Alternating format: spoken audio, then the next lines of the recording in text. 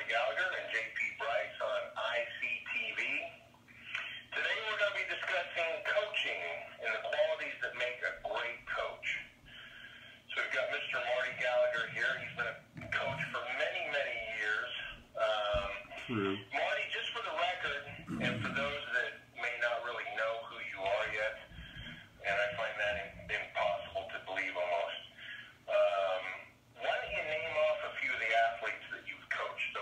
Over the Well, past decade? You know, you'd have to be in my world. My world is uh, uh, hardcore powerlifting back primarily in the 70s, 80s, 90s, up, uh, I guess, through the year 2000. But uh, that's a very small sliver of the you know the athletic universe but within that universe i worked with the best of the best you know uh, starting with uh, i mentored under you know world champion hugh cassidy and uh, i myself I didn't really get into serious coaching, JP, until I sustained my. I had a, a bad injury in 1983. I, I uh, had a compound fracture of my left lower leg, and so that was kind. That was I was 33 at the time. That was kind of the end of my um, competitive career. So at that point, it's like, well, how do I stay in the game? You know, because I'm not going to be lifting, you know, at, at the elite level for a while. So I, you know, I got- into coaching and uh, started with Mark Chaillet. You know, Mark was a neighborhood guy. Uh, him and Mark Dimidoff, they were the power players in, in my neighborhood. And, you know, I helped Mark. Uh, we worked together for six years. and Mark was my entree into the you know, to the big leagues of national level American powerlifting. And uh, from there, you know, I, I ended up going with Black's Gym.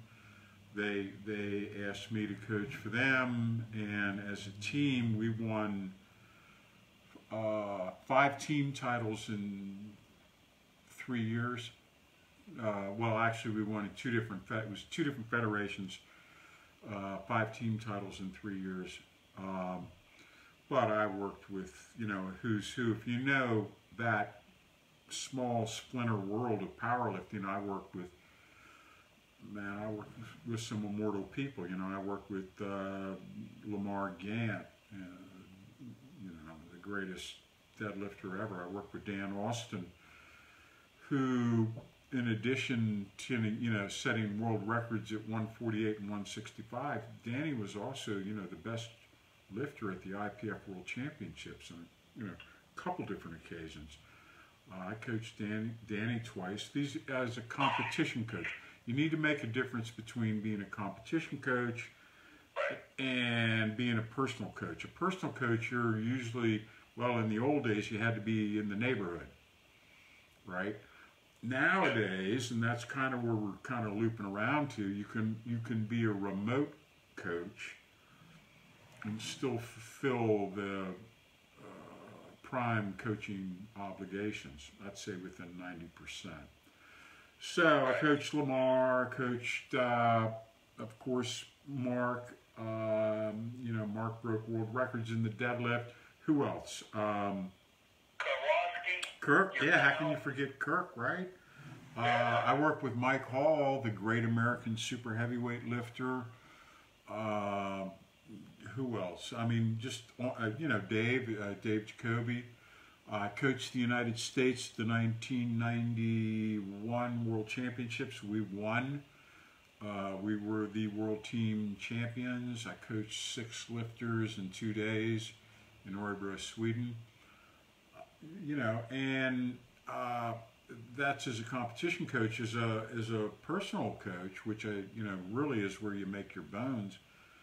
You know, uh, our our people make gains, and that is really the the criterion for uh, success successful coaching.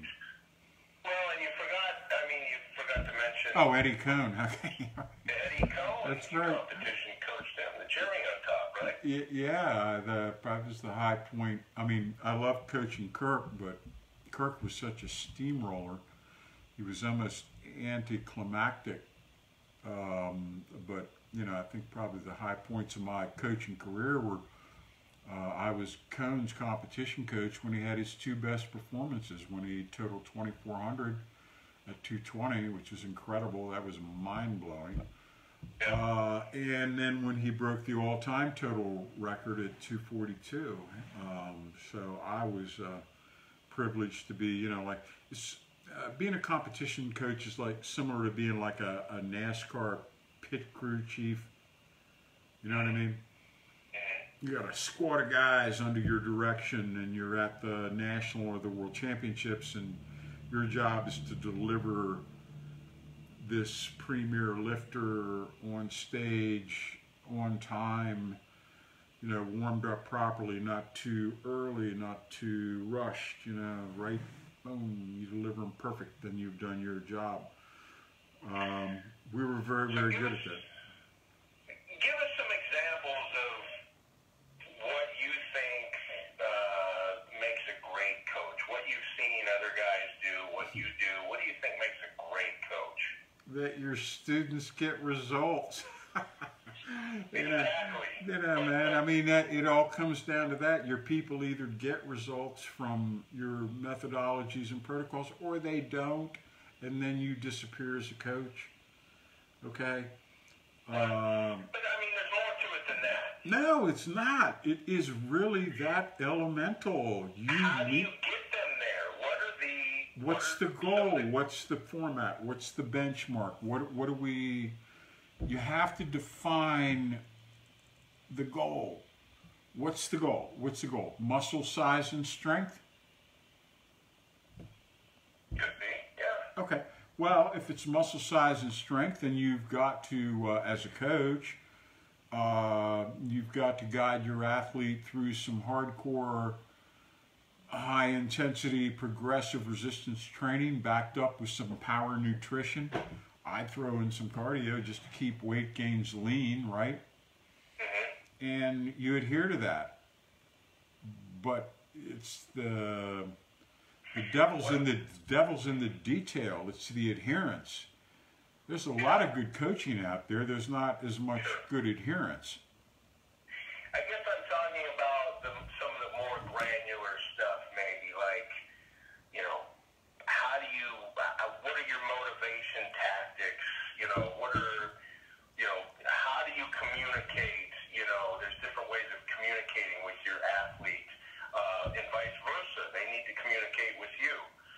Well, I don't. I don't deal with the um, unmotivated.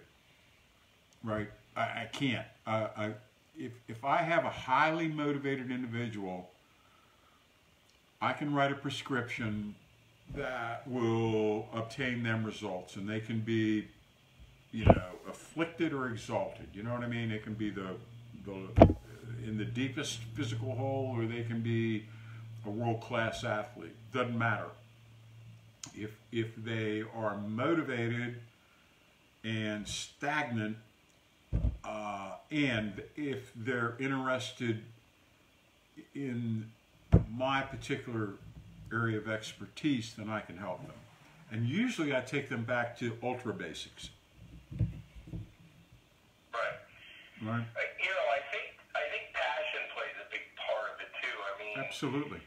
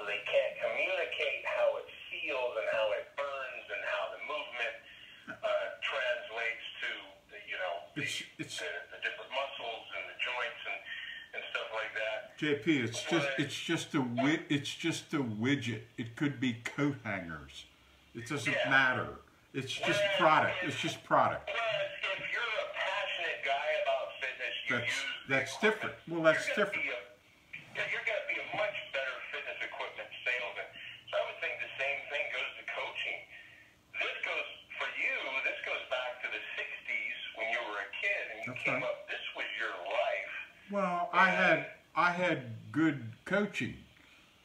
You had good coaching. So I had good role models, right? I had good, uh, yeah. I I knew what good coaching looked, smelt, and felt like. You know what I mean? I, I you know, uh, it, invaluable. How lucky was I?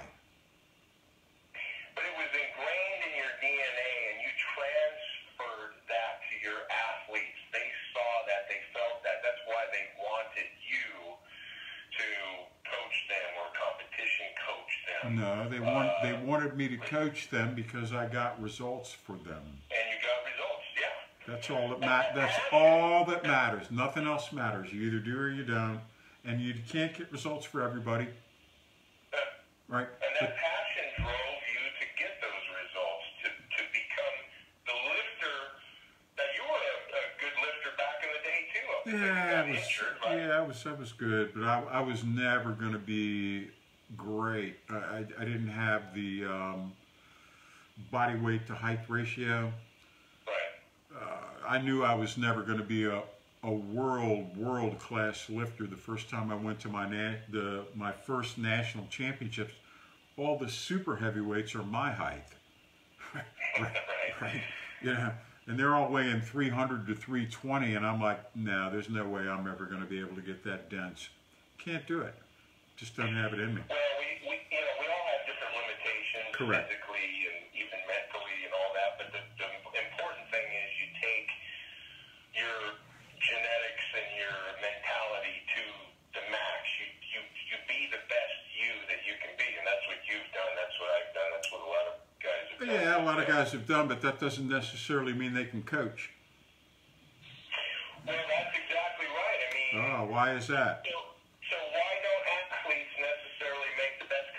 Uh, because they're not necessarily good communicators. A lot of times, so much of what they do is intuitive. Uh, right? I mean, um, I had to riddle everything. I was, um, I was a physiological overachiever. Right?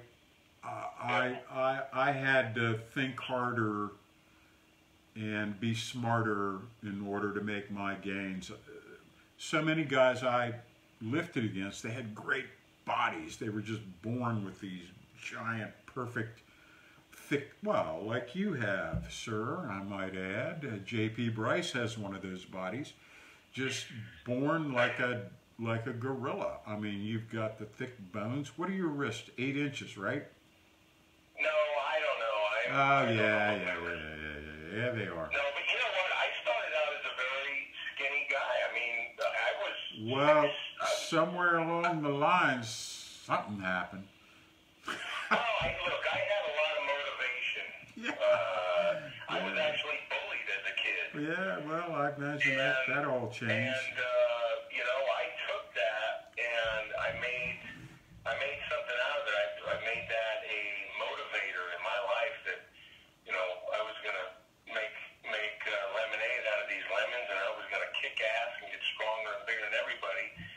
Everybody's everybody everybody has some uh, But you, uh, you tipping tipping point experience. Yeah, that's right. Or, know, use it as or or you shrink from it. Well, you can if you if you crawl up in a ball and go in the corner Now you go to your mother's basement and you know become a you know get in get get into vir- virtual world. Right. So, what, why else don't athletes uh, necessarily make good coaches? What are the reasons? Well, uh, a lot of the really, really good athletes didn't have to work that hard to get as good as they really, really were because they were that genetically gifted. It's not just having the body, it's also having the, the reflexes and the, the central nervous system, the reaction time. That is, uh, you know, that's, that's as much a gift as being born seven foot, right? Yeah. Yeah. Um, and, you know, just as, you know, there's a, an unfortunate number of people that are born handicapped. There are also uh, an equal and opposite number of people that are born, you know, uh, genetically blessed. And if they are able in their society to find, to match up with the sport that, you know, matches their gifts,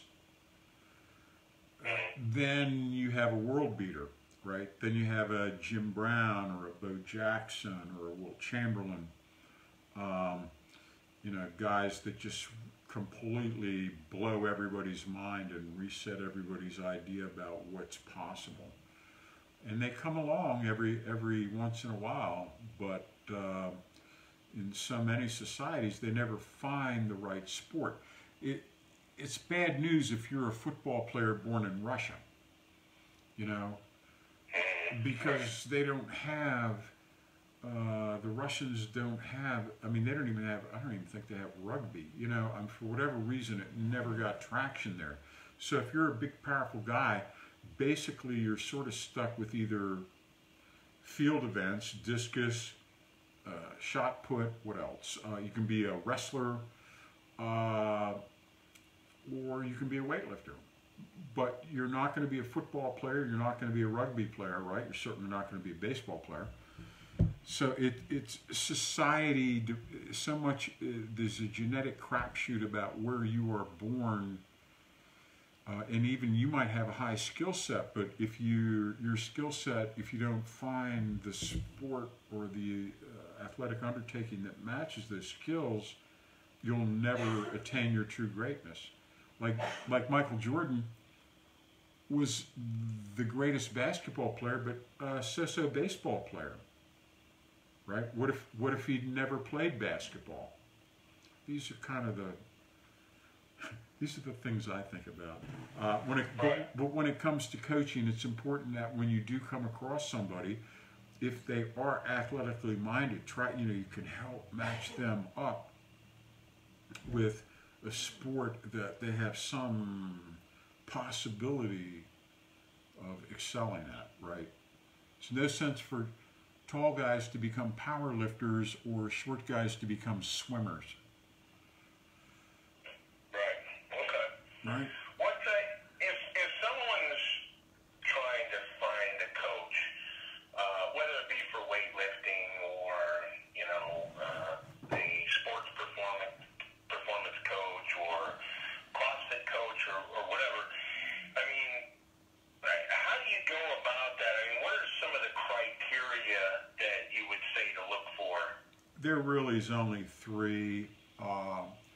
Do they have heavyweight academic credentials? Do they have heavyweight athletic credentials? Or do they have heavyweight coaching credentials, right? Now, optimally, you have them all. You have academic credentials, you yourself were a good athlete, and you've coached and you've demonstrated an ability to replicate good athletes. That's the optimal. But at very least, expect from your coaches either some sort of outstanding, applicable athletic excellence, uh, obviously athletic excellence, uh, I'm sorry, academic excellence, athletic excellence, uh, or coaching excellence. If they have a demonstrated record, if they, they churn out, you know, uh, regional, state, local, and national champions. Hey, that's a you know that, that's a good indicator. And the good coaches put their uh, they're proud of their credentials. They're proud of their students, right? Right. Yeah, that's what you want to see. You want to see that the coaches actually produce some some world beaters, or at least some you know, good regional athletes? Right.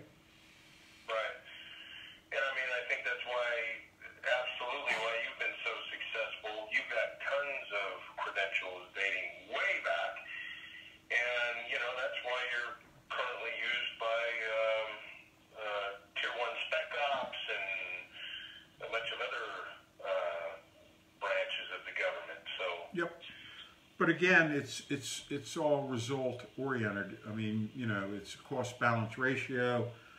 uh, many are given the audition, few are given the callback, right? And fewer still lasts for a decade, which which is what I have, you know. And and why is that?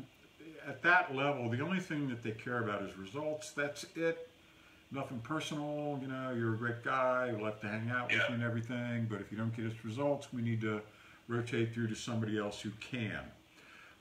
I consistently get I consistently get results because I consistently refer elite athletes back to the ultra basics.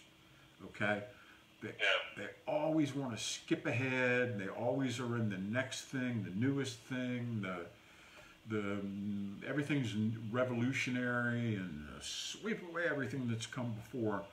And I'm just come along behind going, hey, you know, after you've uh, burned through that stuff, you might want to check back with this. You know, and it's a message that never goes out of um, never goes out of style. Isn't that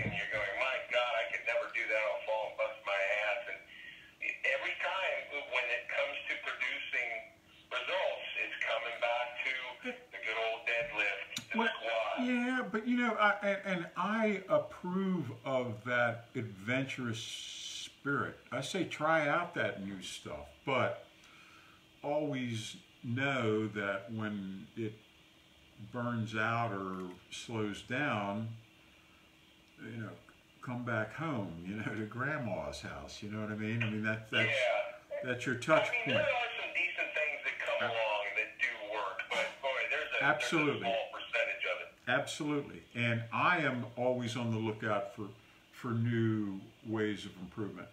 Always. Yeah. You know, that's the difference between a scientist and a fundamentalist. Scientist Right. embraces change. A fundamentalist has, stakes out a position and says everything other than that position is heresy, and uh, we cannot even entertain it. That's that's not the way we are. Show us a better way. I'll be happy to steal it.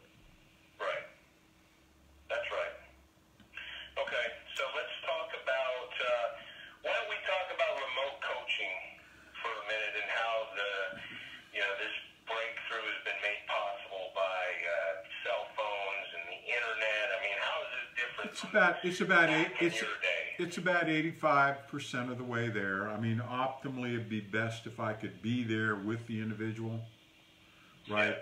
But short of that, uh, having their phone record the limit efforts within the training session, whatever those efforts might be, uh, that's invaluable for me sitting whatever.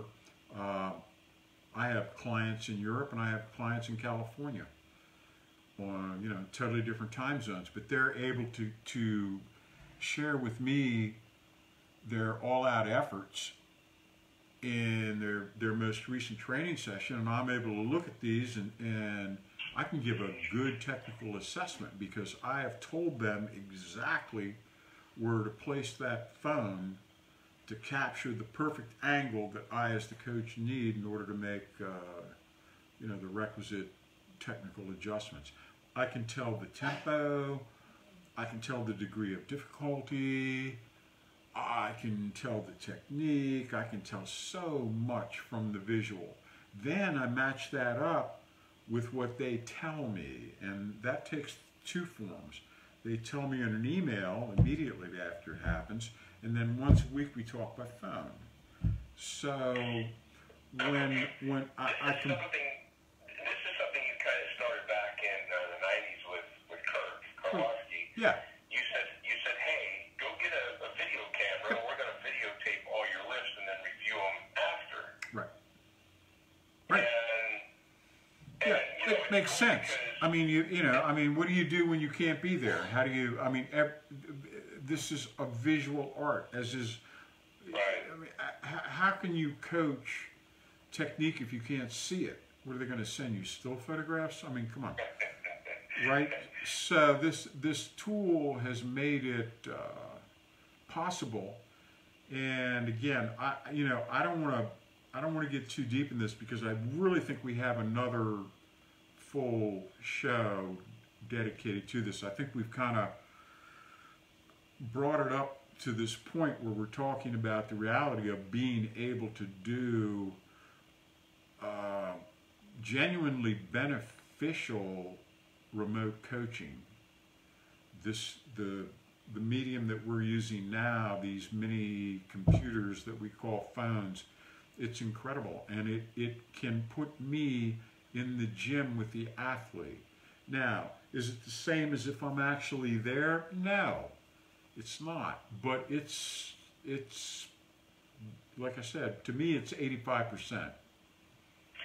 Well, you know, do you think this sort of thing would be uh, a, a good supplemental type thing? Like, for example, you know, you've maybe you've got a regular coach that you go in and see a couple times a week, and then perhaps you get on with Marty Gallagher for a half hour. Uh, I don't know, man. I think that's a mixed message. I think you need to. I think you need to commit to a direction. We got a philosophy here. Our our stuff works. It's a comprehensive thing. We talk to our people about resistance training, cardio, nutrition, and the psychological aspects as it was as it relates to the transformational process. Uh, it's you can't just hone in on one thing and expect the dramatic, radical results that everybody wants. Everybody wants the dramatic results, but they don't understand that it's a completely comprehensive thing. It's not just, oh, I'm gonna I'm gonna start doing concentration curls. you know, like that's gonna you know, change the course of the universe. No, you have to change the course of your life, right? You have to have a sophisticated nutritional program, uh, interwoven with a sophisticated resistance training program, a sophisticated cardio program. They all have to meld, they can't clash. In addition, you've got this psychological thing going on at the same time. This is highly nuanced, and you really need a damn coach because you can understand all the pieces, but there's an ebb and flow that requires in flight tweaking. And that's what they all miss. And that's like, we guide them through that, right?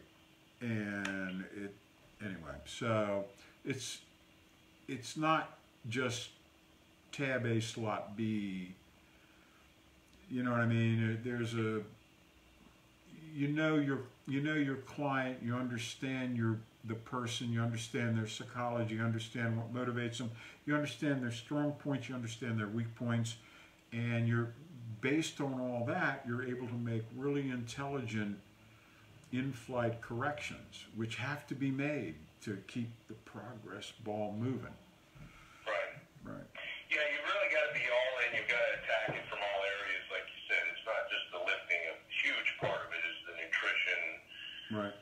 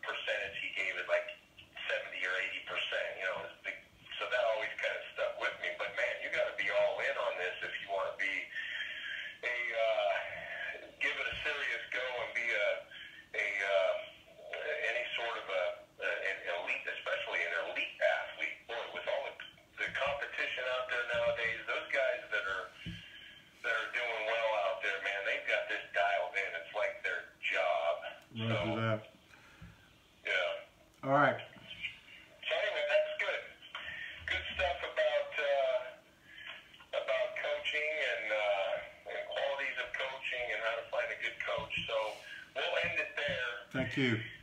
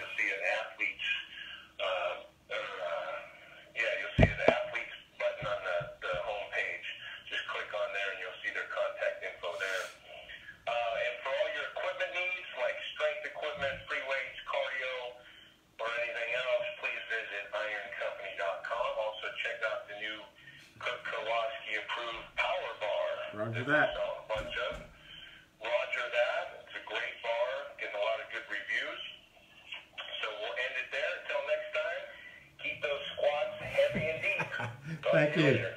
All right. Thank you.